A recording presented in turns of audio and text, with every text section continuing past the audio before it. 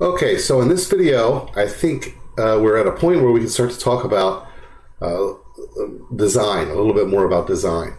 Not that I'm the world's best designer or anything, but um, I do know how to do it, even if I'm not good at it. Uh, but I can I can show you what goes into designing a web page. And when I'm speaking about design here, I think one of the, the biggest things that we're probably you're probably noticing yourself throughout all the work that we've done is um, uh, we, we can't position anything uh, nicely, right? Because we're trying to do it all with uh, HTML, which is not really about that.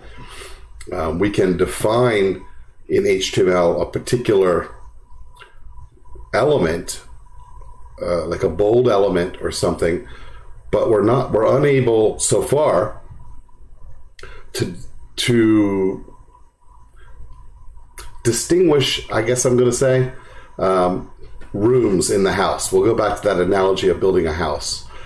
Um, we, we can we're able to bring a lamp into the house and a chair and a sofa uh, and a sink for the bathroom, but, but we don't have a bathroom. We don't. We haven't compartmentalized or divided the space up yet, and so what? That's kind of what we want to do now. We want to be able to split the space into components, and then um, put individual elements in each one of those components. So those individual elements are kind of like the lamp. Now, what room do we want the lamp in? All right, so um, let's start thinking about how we might go about doing some some such thing. Um, and in order to do it, I got a little sketch program here uh, that I will bring up for us. Let's see if I can find it. It's somewhere around here. There we go. So I've got it. So what we're going to do, what I'm talking about with the design slash positioning, um, we know that when we write in the HTML file, the .html file, um, things are executed on the screen from the body, right? The body is the most important part. This is the part that everyone sees. So we'll see. This is our web page, kind of, in my idea here. Um, we know that as we're writing HTML top down, it gets rendered on the page top down in the same order that we, we place these these items, right? So maybe maybe we have an anchor followed by a table. When that gets displayed in the browser, there'll be an anchor on top of the table. Alternatively, if we did the table first and then the anchor afterwards, it would come in the other way. So top down.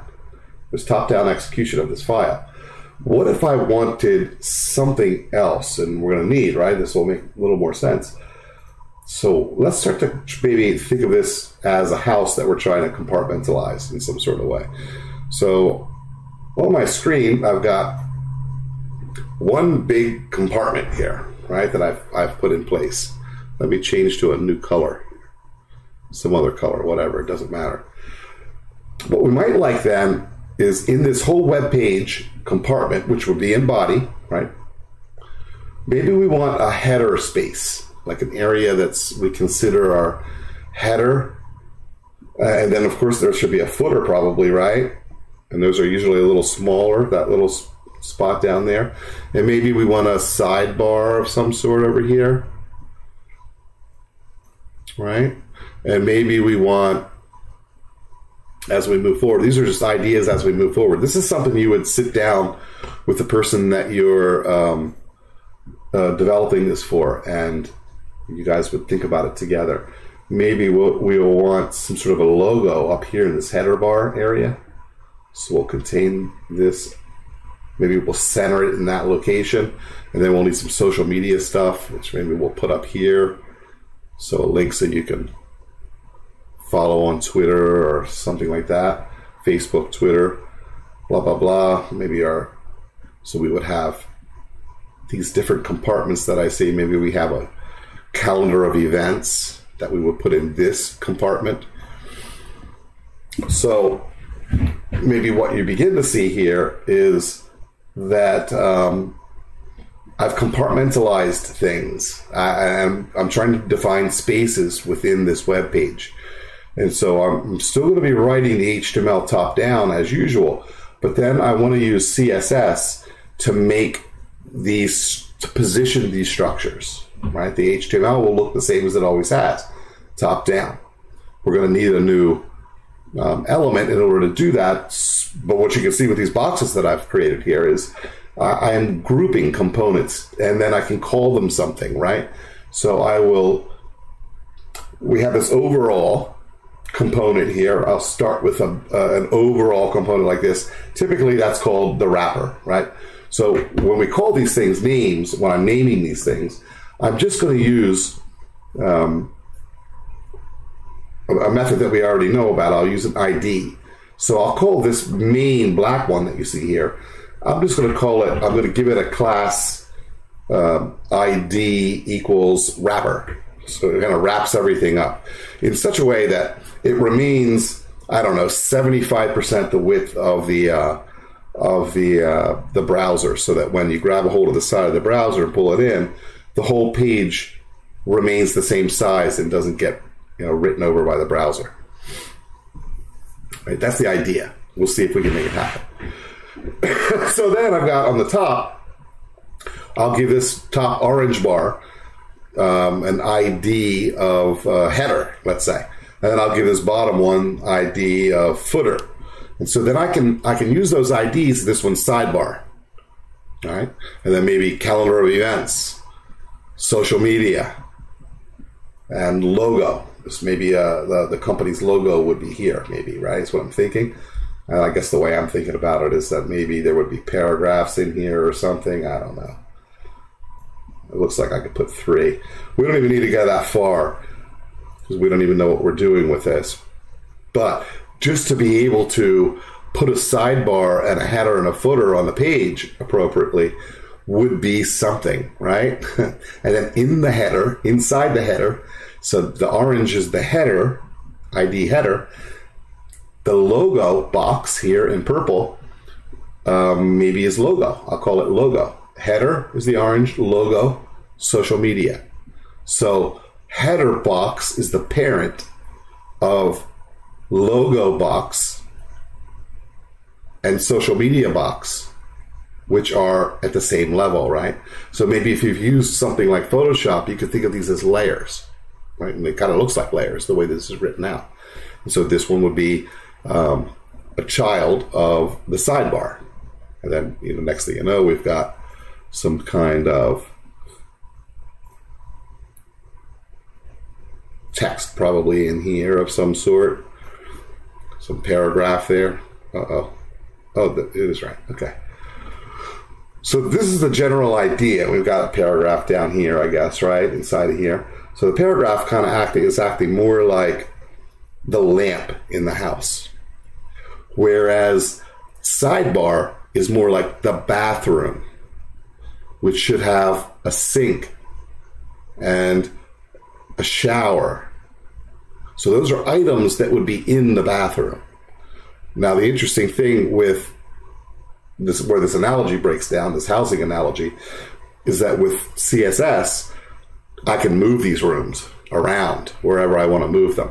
So I could have this one left on the right side of the web page, or I could alternatively, I can't do it with this soft with this little paint program that I have here, but I could I could grab a hold of this and move it to this side, right? And I could say, no, I like the sidebar on this side more so than on this side. But you see the, the header, the footer, the sidebar, these paragraphs that are in the middle, those are all children of the overall web page that we're, I'm going to give the ID of wrapper.